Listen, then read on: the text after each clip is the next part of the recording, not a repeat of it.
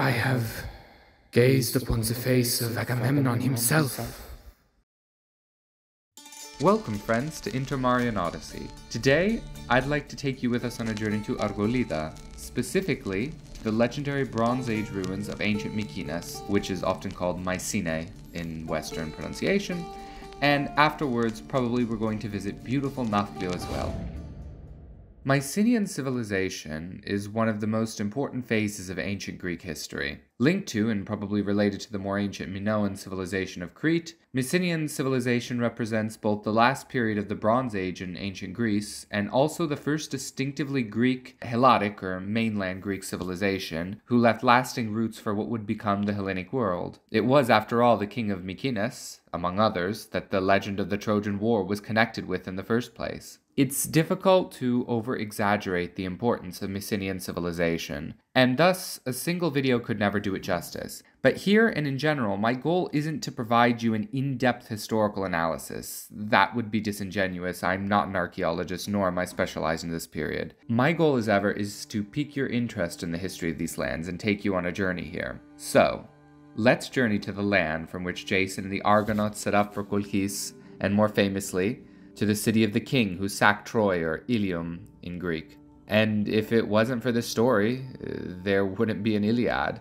And if it wasn't for that, there would have never been this story of the legendary Nostos, the Odyssey, back to Greece, back to Ithaca. It would be impossible to talk about Mykines without mentioning Agamemnon, the legendary king of a dark and forgotten age, who's now most popularly recognized by the famous golden mask attributed to him. Uh, no, not that one this one. But more on that later. First, let's talk about our journey.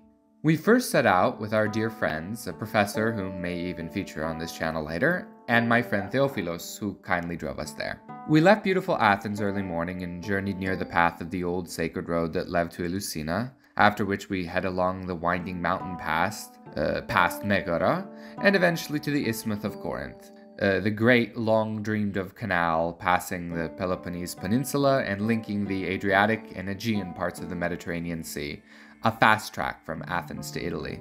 The canal technically turned the Peloponnese into an island. Here is not Peloponnesos, here is Attica. Here is not Attica, here is Peloponnesos. Though I should add, when we visited the isthmus this time, the waterway was temporarily blocked due to a rock slide. Glad I wasn't down there. Uh, Peloponnesos is a beautiful region of Greece, and I do hope we'll get to go on many journeys there with you. In any case, when we crossed into Peloponnesos, we soon passed, uh, besides ancient Corinth, or Corinthos, and her impressive Acropolis, or citadel, uh, honestly, possibly the most impressive in all Greece, second to the Parthenon on Athens. The one in um, Corinth is called the Akrokorinthos. It was from here where St. Paul preached to the people of Corinth.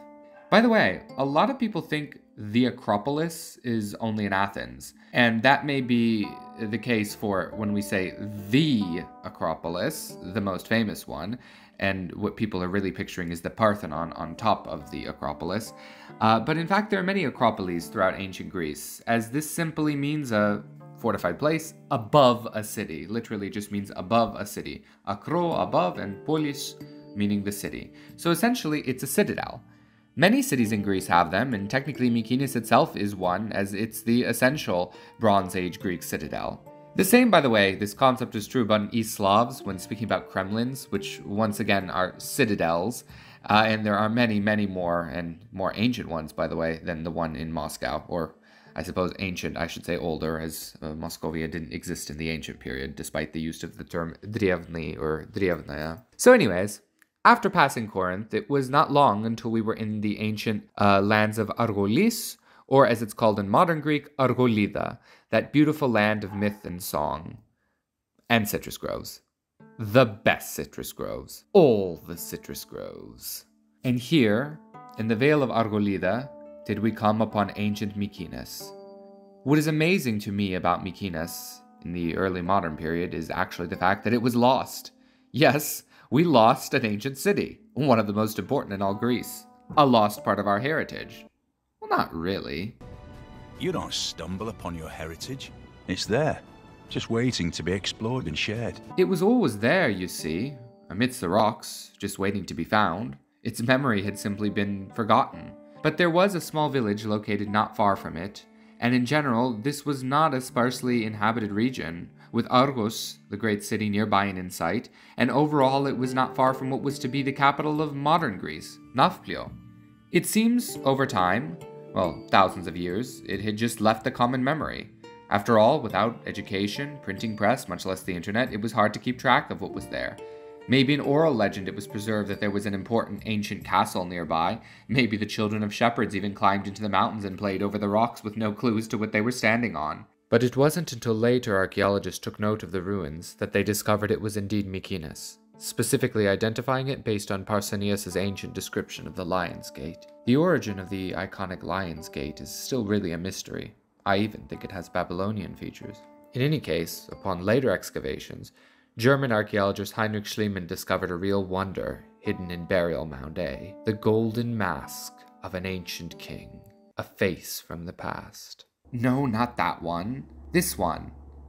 And when he saw it, he spoke the famous words which he sent in a telegram to the King of Greece I have gazed upon the face of Agamemnon. Agamemnon was the ancient king of Mykines in Homer's immortal story of the Trojan War, in the Iliad. It was he who led the Greek invasion force which sacked Troy or Ilium. He was the brother of the king of Sparta, Menelaus, who also played an important role. But what started the Trojan War? Well, like many interesting stories, probably all really interesting stories, it started with a girl, specifically the most beautiful girl in the world, Helen of Troy. She was um, promised to a young prince of Troy. Uh, there was just one little problem, you see. She just so happened to be the. The most beautiful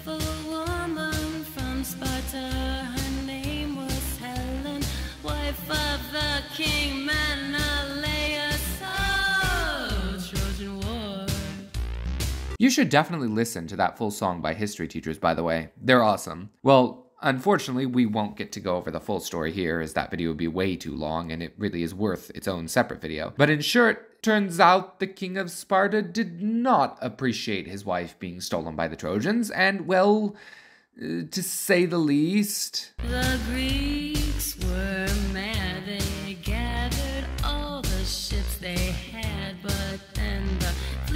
just wouldn't move. So Agamemnon asked what he could do. Agamemnon sacrificed his own daughter to appease Artemis. Yeah, he wasn't really a nice guy. But in any case, as the legend goes, then the fleet would set sail to sack Troy. And Helen became immortalized as the face that launched a thousand ships. By the way, somewhat off the main road, closer to the Isthmus of Corinth on the sea road, there's a small village called, I believe, Lutraure Seleni, uh, or the uh, should be the font, or perhaps the spring of Helen the Beautiful, where she was said to have lived and or bathed. As to the parahistoricity of these events, or Agamemnon himself, well, we can't really address it now, but what we can do is explore the ancient realm of Agamemnon, and we'll chat about this in a later video, I hope. So let's walk through the Lion's Gate. Not that lion. Now we can do a brief walk through the museum. So we're finally where I've been wanting to show you. This is, of course, ancient Mykines, where Agamemnon lived. In ancient times, of course, of the fame of the Iliad and Odyssey, he was the king of Mykines. Mykines was the capital of Mycenaean or Mycenaean in Greek civilization. So, capital of ancient Mycenaean civilization, very important for our culture. In general, I will put more facts later because I'm quite tired. We've only been here, I would say, for about a week now. Of course, I mean, I've been to Mykines before. It's just all of this to move back, in some senses, home, but in some senses to a new place, is an interesting feeling to say the least. In summer, there are way more people. I forget what the price is in summer. In the winter, usually you pay about six euros for a ticket. And here is, of course, the famous Lion's Gate, which we will see in more detail up ahead. And that's already the bay of Argolida. And in the distance, you can see the Argos. Argos, of course, being the oldest continually inhabited city in Europe. And the region around Argos is called Argolida. And here we are. They say they're Babylonian or otherwise from Persia.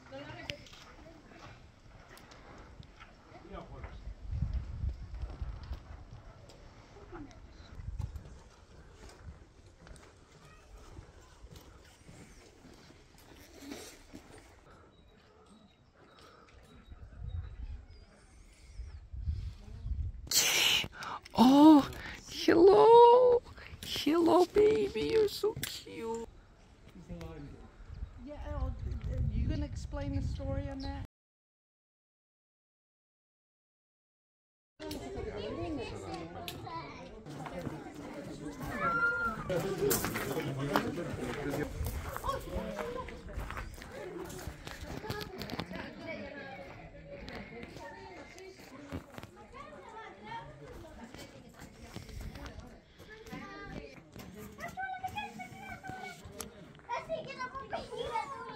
That's that's from the back side.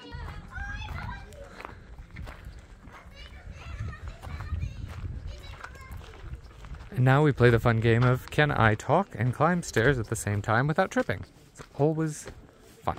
And of course, I'm also wearing the wrong shoes. This reminds me of, I think it's called Austin Entilil or something like that in Tolkien's writings. I'll have to look up the actual right way to say it because I'm sure I butchered it. But I think they were what, Sindarin elves, or they were like the people of Celebrimbor and where the rings were forged. Sauron deceived the elves into, but their great home was something like that. Austin Entilil or Austin Endilil.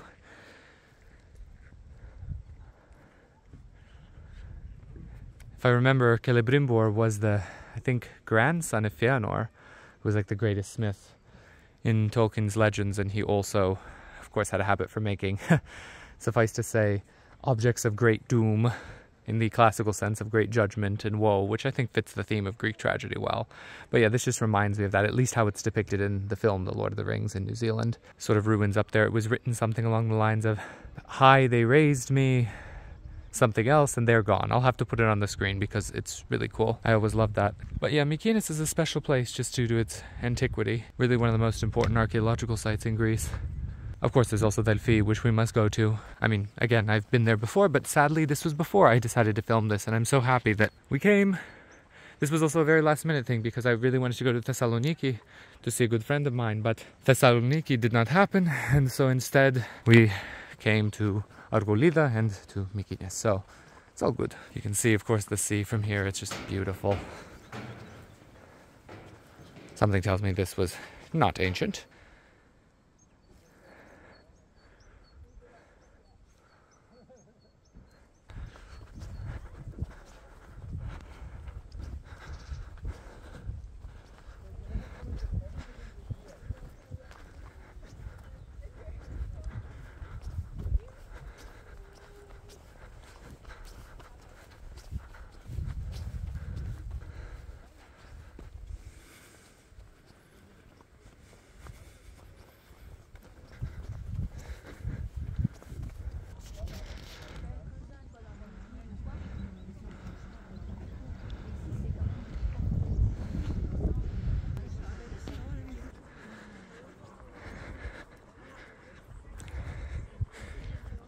It's funny and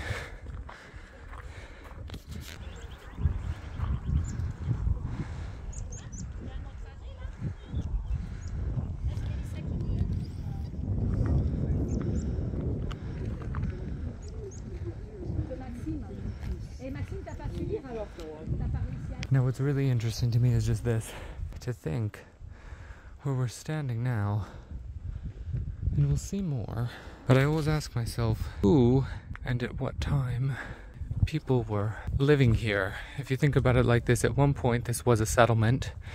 Mykines, of course, like we were saying, being one of the oldest in Peloponnese. So in, in Peloponnesus. And so, uh, so people were at one time, and I just ask myself, one of the most interesting things for me is just wondering, being that Mykines is one of the most oldest sites in uh, Peloponnesus and in Greece in general, looking over these ruins and wondering, you know, of this palace or of this home. I mean, who was living here? And I don't mean by that Agamemnon and all of that.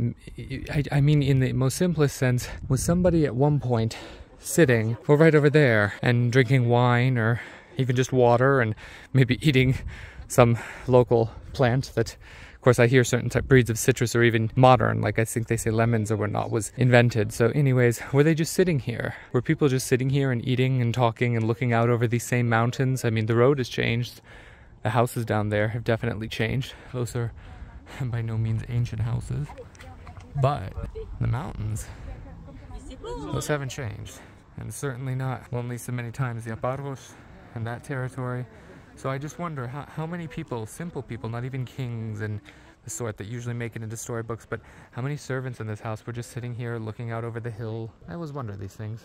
This area always gives me Lord of the Rings vibes for some reason.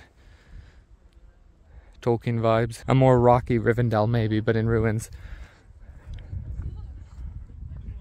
Or even in a more depressing sense, something like, well, like we were saying, Osten-Endil when all the elves were gone finally, and all that's left is their ruins. We know once there was a great civilization here, but at some point all things return to the earth. For me, the even more impressive thing and amazing and confounding thing is that, you know, the location in Mykines was lost at one point. Now, what do we mean by lost? Of course, these stones didn't just disappear, but it was forgotten about. I mean, after the destruction of the Roman Empire, you know, well, I mean, way before that, different Greek civilizations existed in past, but it, it was lost from memory after the fall of Rome and the sort of the, the period we call Turkocratia, the rule of the Turks, uh, it was civilizationally speaking a, a, bit of a downgrade. I mean, in, in general, uh, all of that medieval period in some ways we can view as a downgrade compared to the you know the wisdom of the ancient period in some ways.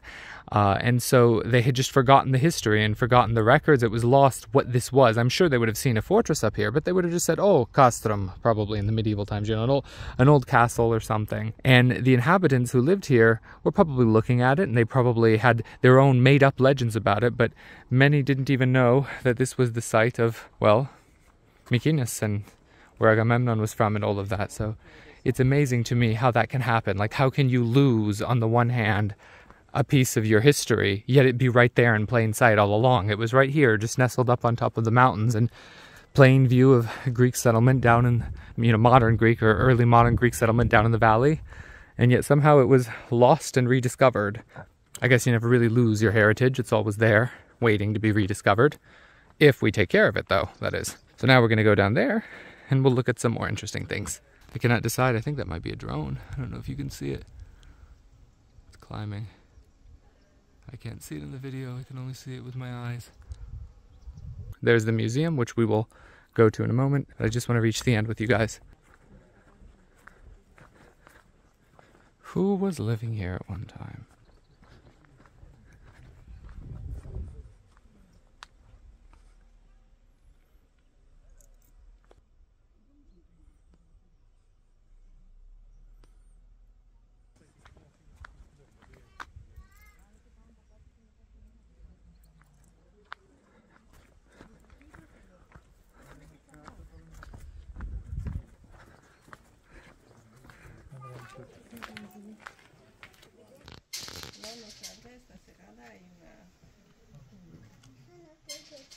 Now, what is this?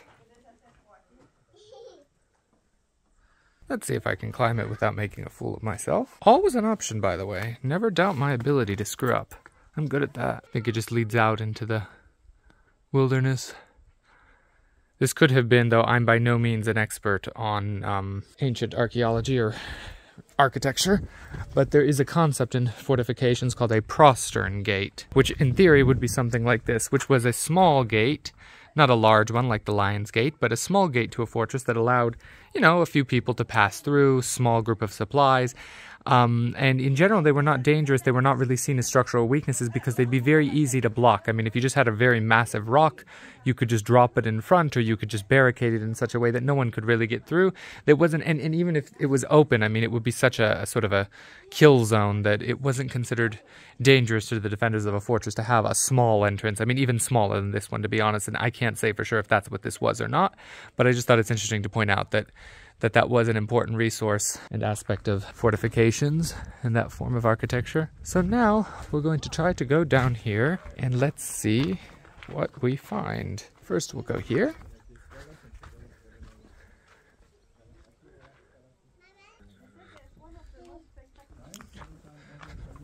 Now we attempt something somewhat homicidal, which I may or may not do. We're going to try to walk down here, but given my balance, that might not be so good idea. But we will try.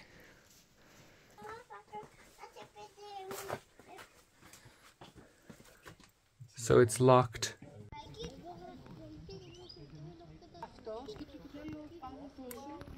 Quick way into the museum. I don't know how much we're going to look at today, but we'll take a quick peek. Honestly, the museum isn't that impressive. It's the, the ruins that really you want to look at. Uh, the best museum in Greece, at least for ancient things, is of course the National Archaeological Museum. And actually, the Byzantine Christian Museum is very good for, you know, that period. But for now, we are just going to go in. We're going to look at what they got. So, here we are. We have a nice model of Mykines. I don't know if this helps anyone or not, but there it is. Let's see if real quick before someone else comes we can look at the Lions Gate where we were. And actually, in surprisingly ah, acceptable detail, there's the Lions Gate. Alright. So this is just in general about Mycenaean or Mycenaean civilization and a sword. I will put it here and slowly show you. And if you want, you can pause the video and read.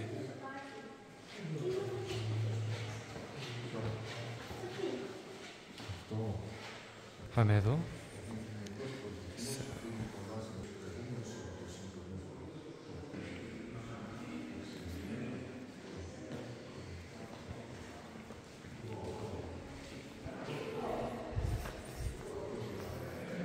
Hmm, what is this? Let's go down.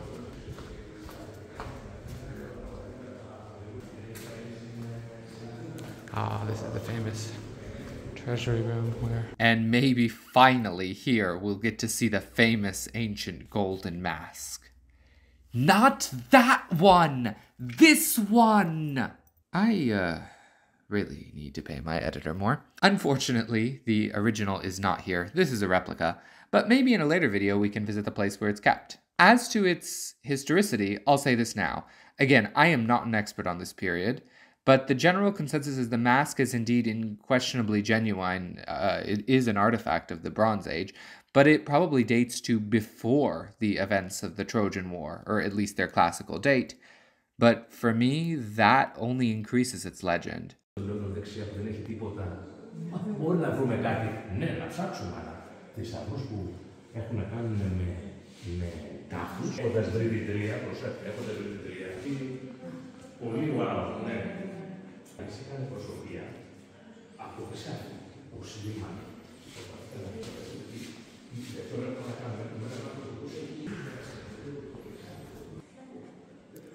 Coins from different time periods. Now this is what's always interesting to people, the women of Mykines. They look like the very similar to Minoan women. Of course, there was a relation, obviously. The style is very distinctive. You had the whole concept of the Orientalizing period.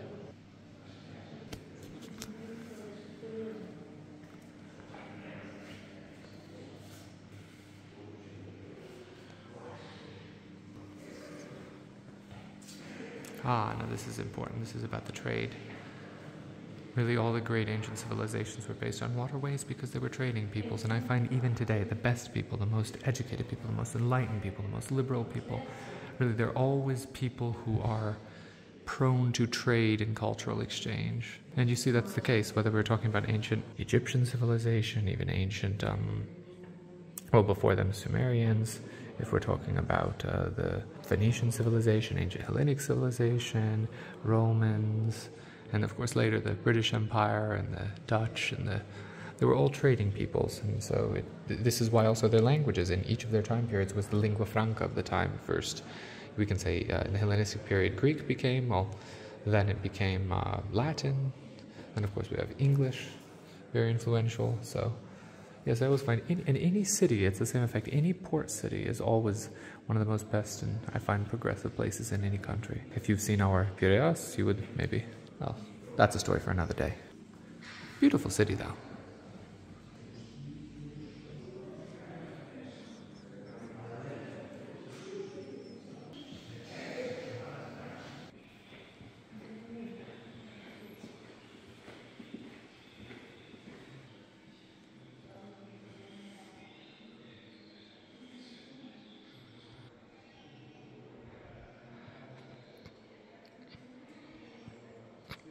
We really need to get going, but is it wet down there?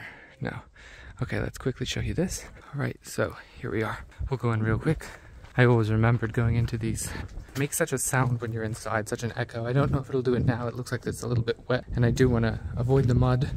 But yeah, you can, I don't know if you can already hear, but my voice is already echoing. And by the center, it's a complete reverberation around all the walls, and I'm pretty sure anyone standing above me can hear everything I'm saying. Kind of a cool effect. Yeah, even if you stomp your feet, you will hear. Nice.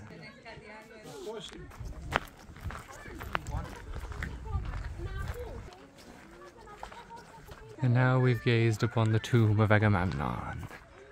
Well, not really, but.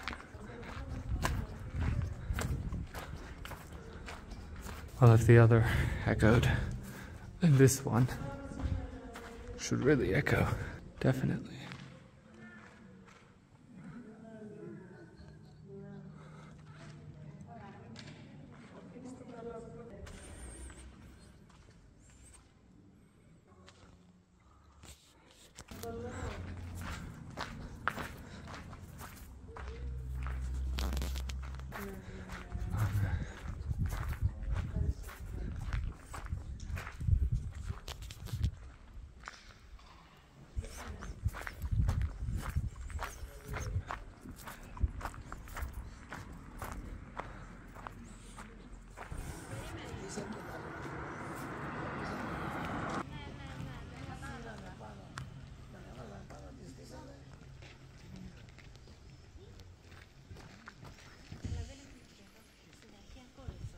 Mykines fell in the famous Bronze Age collapse, a mysterious event in which, uh, not just there, but all across the world, great Bronze Age civilizations, well, you guessed it, collapsed. And we really don't know exactly why. But this collapse ends the Bronze Age period of ancient Greek history.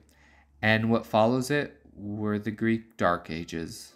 The ages are called dark, I should add, not because they were so grim, but because the lack of sources about them, as Greeks seemingly had lost their writing system, the Linear B of Mykines. But you see, it's with the end of this period that the archaic age of ancient Greece begins, when this simulated contact with their Phoenician brothers and sisters, another great seafaring people from what is today Lebanon, whose descendants would later be Hellenized, that the Greeks formed their ancient alphabet on the basis of the Phoenician.